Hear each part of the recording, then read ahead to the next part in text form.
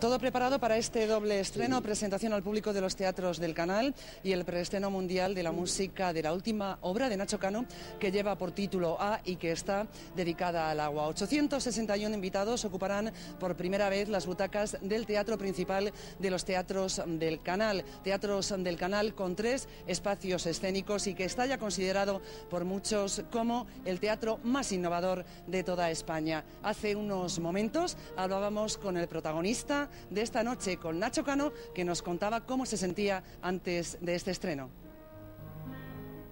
¿Cómo se siente un artista? Muchos rostros conocidos en una noche que ha servido para calentar motores de esta gran infraestructura teatral formada por tres salas dotadas de las más modernas tecnologías.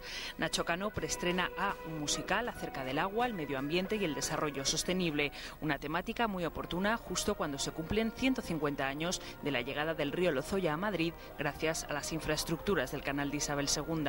Antes del preestreno hablábamos con un Nacho Cano muy tranquilo. Todo va a ir muy bien, todo fue ayer en el el show que hicimos de prueba con gente muy bien y está todo bastante bien.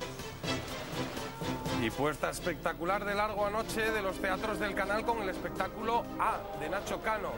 No abrirán sus puertas hasta enero, pero anoche muchos rostros conocidos pudieron asistir al estreno mundial de esta nueva sede de las artes escénicas de Madrid. Cargo su director artístico, Alberto Adella.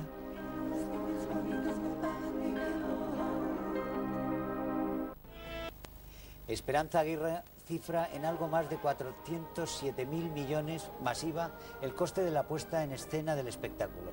El resto, el catering, los uniformes de las azafatas y regalos, corrió a cargo de la constructora.